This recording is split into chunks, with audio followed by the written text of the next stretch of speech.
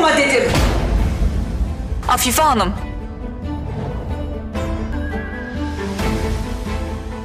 Inscreva-se em nosso canal para ser notificado de mais vídeos e não se esqueça de curtir nossos vídeos. Ira Musa e a Fife estão juntos na sala e conversando. Alivia o vaso na mesa e diz que quer tocá-lo. Olhando para Musa Ali, você não está fazendo nada, mas Musa está do lado de Ali e está fazendo tudo ao seu alcance para deixar Ali feliz. Ao ouvir essas palavras, com a coragem que ganhou de Ali Musa, fui novamente em direção ao vaso. Desta vez a Fife se levanta e começa a gritar não, eu não disse para não tocar em você. Adi fica muito assustado e dá um passo para trás.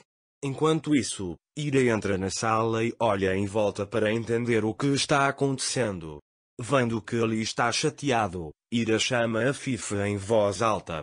Ira grita para a Fife como a Fife Yanin. Enquanto isso, Eda também está na sala e o que significa ouvir tudo isso com prazer. Eda quer romper a relação entre a Fife e Ira e ter seu filho sozinho.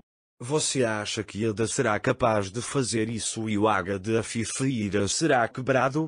O que acontecerá a seguir? O que acontecerá entre Aziz e Ira?